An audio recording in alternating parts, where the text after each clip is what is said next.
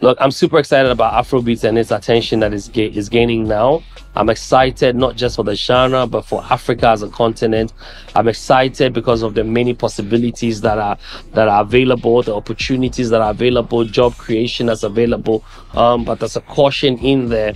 Um, I think Africa must be alert. African creatives must be alert. Alert about owning owning their content. Alert about about owning uh, um, being able to commercialize these content and being the so not just so but at least having the majority of um, the benefits that are going to come in. Um, it would be sad to be enslaved culturally as well.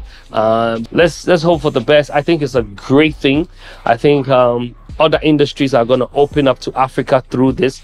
This will be its driver. It has started with the music and we need to all um, hold it together to make it happen you